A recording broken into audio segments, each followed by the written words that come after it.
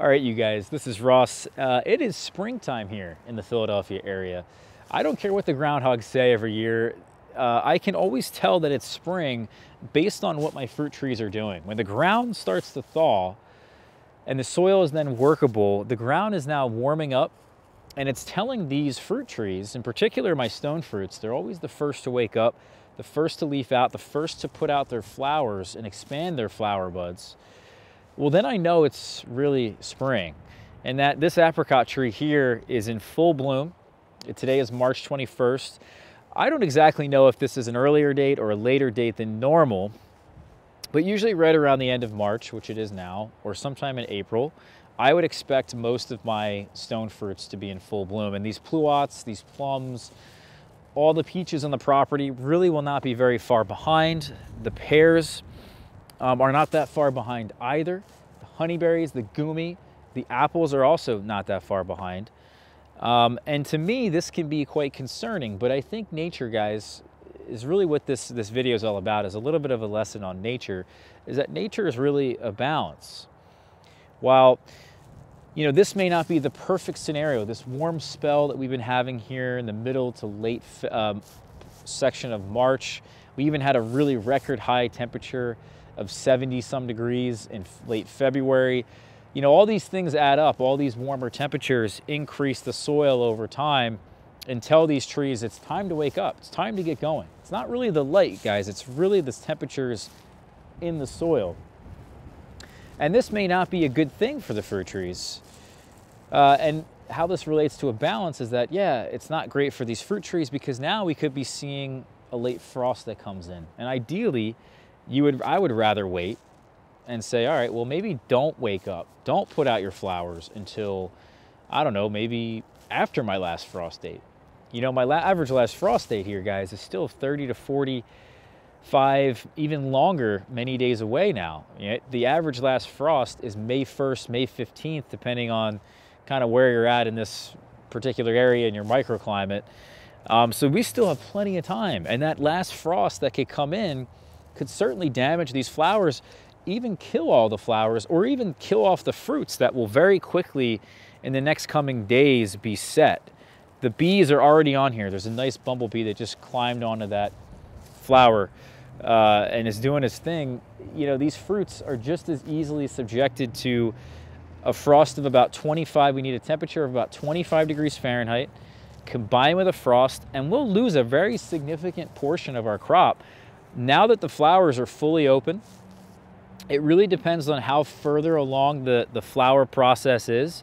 When you start to see petals, that means a different temperature. When you see that the flowers now are fully open, that means a different temperature.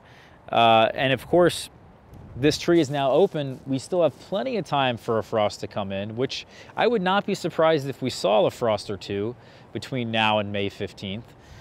Um, and now that this tree is, is really, in a sense, in jeopardy, in peril of me particularly losing, again, a good portion of my crop. So nature's a balance and that, yes, maybe the fruit trees here and the stone fruits as an example, which inevitably put out their flowers just a bit too soon, a bit too early in the season.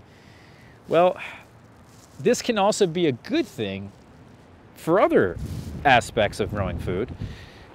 And that includes the garden. So for me, I'd rather actually have a warmer soil earlier in the season because then I can get my garden started at an earlier date. And I think a lot of people neglect the garden this early in the spring, especially in the Northeast.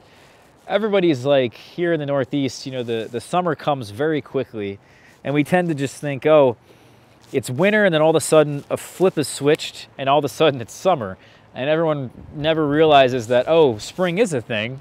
Spring does exist here in this area. And we just don't relish it enough. We don't enjoy it enough because we're not out here with the crops and in the seasons. We're not in nature, uh, the average person anyway.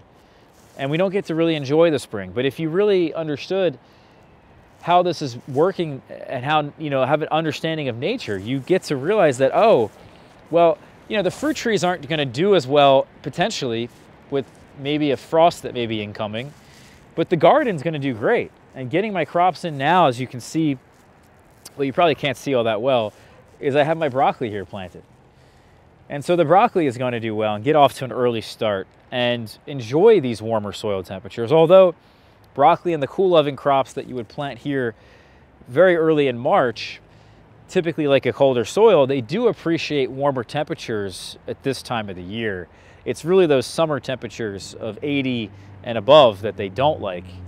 Uh, so this is their time, and the more soil temperatures we can give them now, the better. So, you know, life is a balance, nature is a balance.